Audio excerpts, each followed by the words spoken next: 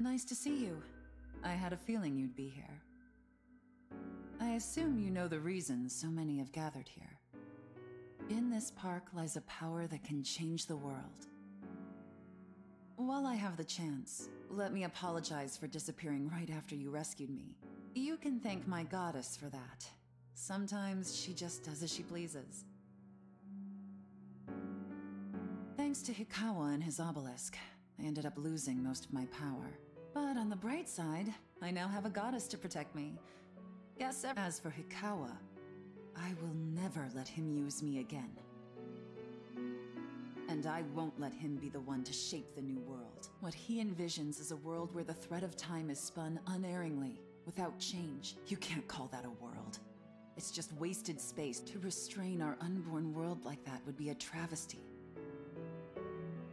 As the one responsible for the destruction of the old world, it is my duty to shape the new one. The world cannot remain in a state of chaos, nor can it fall prey to Hikawa's ambitions. But as it stands, there's not much I can do. Even though my goddess has spoken to me, she has yet to reveal her reason.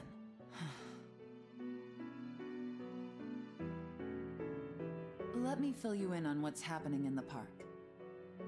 It all centers around the Yahiro no Himorogi. It's a stone that's filled with an enormous amount of Magatsuhi. It grants its possessor tremendous power.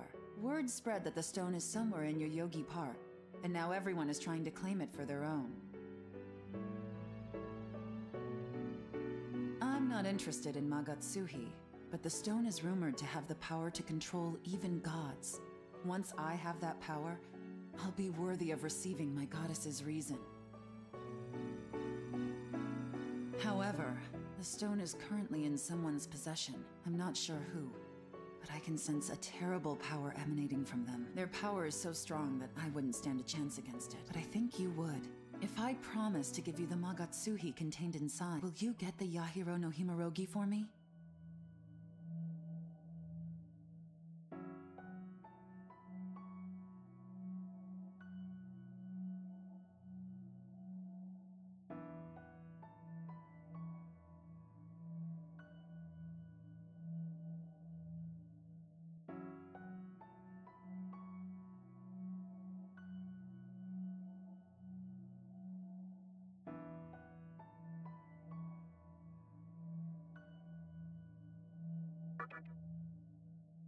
Thank you.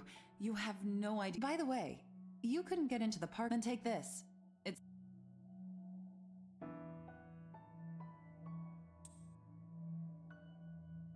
Thanks.